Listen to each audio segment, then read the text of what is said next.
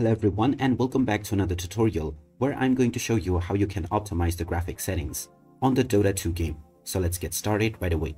First of all, open up the Dota 2 game on your device and once you are taken into the home page to optimize your graphic settings, tap on the gear icon at the top left corner. Now once you are taken into the settings page, tap on video from the left side and now you can change various different aspects. You can choose your resolution from the advanced settings menu and if you scroll down, you can now see the rendering options.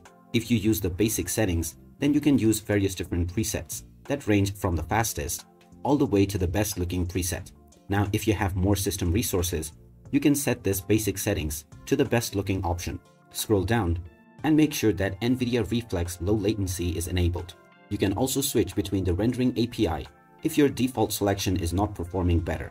Once you change both of these settings, you can simply close this and go back to your game and see how your settings feel. If you still notice some issues, you can try reducing the basic settings by one step and see how your new settings feel. You also have the option to use advanced settings, which will allow you to enable and disable various different options on your own.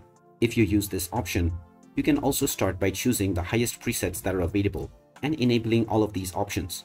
Then you can check your performance and try reducing each of these to achieve a stable balance of performance and quality.